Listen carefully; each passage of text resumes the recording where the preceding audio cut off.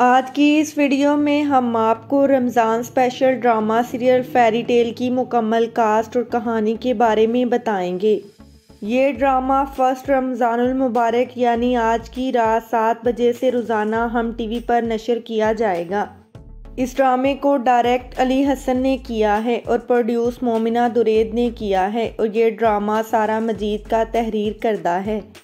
Fairy tale ड्रामे की कहानी एक इंतहाई मतव पाकिस्तानी टेलीविज़न सीरीज़ है, जो अपने नाजरीन के लिए मज़ा और ड्रामे का एक नोखा मज़ा लाने के लिए तैयार है।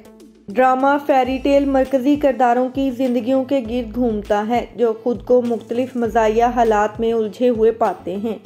तमाम करदार एक मोड़ के साथ फेरी टेल की मुकम्मल कहानी के क्लासिक अदाद शुमार पर मबली है। मिसाल के तौर पर मरकज़ी करदार हमजा सोहेल ने अदा किया है, जो कि जदीद दौर का शहजादा है और ख़ुद को संगी करदारों से भरी दुनिया में पाता है। सहर खान एक संड्रेला जैसे करदार का अदा कर रही हैं, जो कि मुसलसल मुश्किल का शिकार होती आ रही हैं, जबकि अली सफ़ीना एक नज़ाली साइड किक का करदार अदा कर रहे हैं।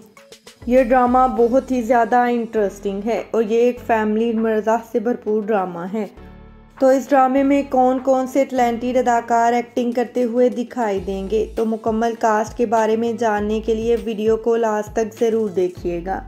मगर उससे पहले आप सबसे रिक्वेस्ट है कि अगर आप हमारे चैनल पर न्यू हैं तो हमारे चैनल को सब्सक्राइब करके बेल आइकन को ज़रूर प्रेस कर लें, ताकि आने वाली हर नई वीडियो का नोटिफिकेशन आप तक बसानी पहुँच सके। शुक्रिया।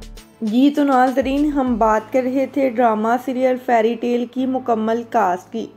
तो इस ड्रामे की कास्ट में शामिल हैं